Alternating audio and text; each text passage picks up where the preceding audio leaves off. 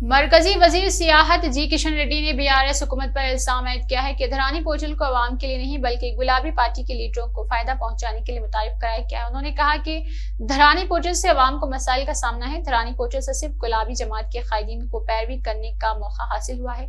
जी किशन रेड्डी ने आज बीजेपी दफ्तर में अखबारी नुमाइंदों से बातचीत करते हुए कहा कि धरानी पोर्टल की खामियों को दुरुस्त करने के लिए दस लाख लोगों ने शिकायत दर्ज करवाई है। इस पोर्टल के आने के बाद अवाम की शिकायत में इजाफा हो गया है और उन्होंने कहा कि करोड़ों रुपए खर्च करके पुलिस कमांड कंट्रोल सेंटर कायम किया गया। मध्य प्रदेश की पुलिस हैदराबाद को आकर दहशत गर्दी की सरगर्मियों में मुलविस अनासर को गिरफ़्तार कर चुकी है। पुराना शहर में मुख्तलिफ़ महकमों के अहदेदारों को आजादाना काम करने की इजाज़त नहीं दी जा रही।